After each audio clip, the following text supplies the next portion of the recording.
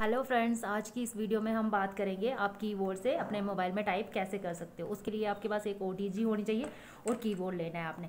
तो कीबोर्ड की वायर जो है, वो ओटीजी में अटैच करनी है। उसके बाद ओटीजी जो है, अपने मोबाइल में आपने प्लग इन करना है। इस तरह से जहाँ पर आप चार्जर लगाते हो। फिर उसको यहाँ पर नीचे रख देना है। अगर आपके पास स्टैंड है तो आप स्टैंड पर रख सकते हो।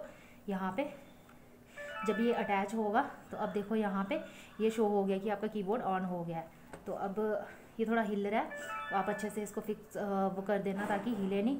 उसके बाद आपने क्या करना है गूगल में जाना है। यहाँ पे देखो, यहाँ पे क्लिक करना है और क्लिक करके अब आप कीबोर्ड से टाइप कर सकते हो। टाइपिंग टेस्ट ऑनलाइन देखो।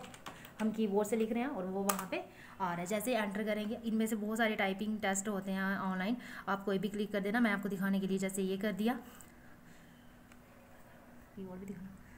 हाँ इस तरह से जैसे हमने ये टाइपिंग निकाल दी हुई है, ये अब हम कीबोर्ड से टाइप करेंगे और वहाँ पे टाइप होना स्टार्ट हो जाएगा। देखो लॉन्ग टाइम बैक इस तरह से आप जो है, अगर लैपटॉप या आपके पास कंप्यूटर नहीं है तो आप कीबोर्ड से भी इजी जो है वो टाइपिंग जो है अपनी टाइपिंग जो है वो कर सकते हो, इस तरह से। ठीक है? तो इसके लिए ज़्यादा आपको चार्जेस लगाने की भी ज़रूरत नहीं है पे करने की।